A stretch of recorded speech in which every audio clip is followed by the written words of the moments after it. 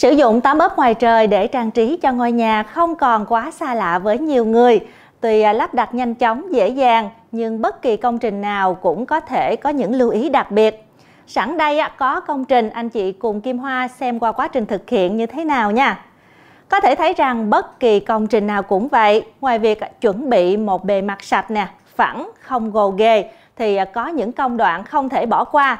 Công đoạn thứ nhất là phải tạo một cái hệ khung xương nha. Lúc nào cũng vậy, ốp trần hoặc là tường bằng tấm ốp ngoài trời, chúng ta sẽ bố trí một hệ khung xương à, gắn vào tường hoặc trần trước khi cho các tấm ốp lên trên nha các anh chị. Và đừng quên xịt thêm sơn chống rỉ ở vị trí hàng nối nha các anh chị. Ngoài chất liệu thanh xương là thép mạ kẽm thì các anh chị có thể dùng à, thanh hợp inox nè, vẫn được nha. Công đoạn kế tiếp là sẽ đo và cắt từng thanh ốp gỗ nhựa với kích thước tương ứng.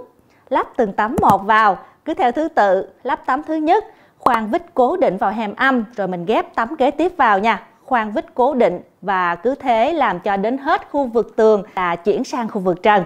Lưu ý rằng lực khoan vít không nên quá mạnh tay nha. À, rất là dễ bị tét các vị trí vít khoan. Và khi lắp nên dùng thêm lực tay à, để các hàm khóa gắn chặt với nhau hơn nha các anh chị. Không để lộ khoảng hở kém thẩm mỹ. Công đoạn cuối cùng là mình sử dụng nẹp V bo viền che đi khoảng trống.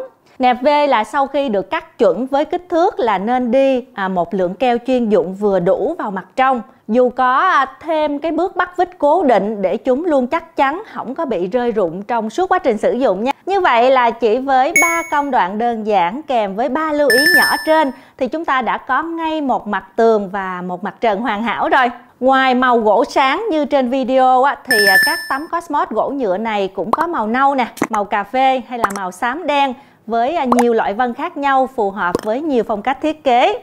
Nếu mà cần thêm thông tin thì à, cứ để lại comment cho Kim Hoa được biết với nha. Cảm ơn các anh chị đã theo dõi video. Tôi là Kim Hoa đến từ Cosmos Việt Nam. Cosmos vừa tốt, lại vừa bền.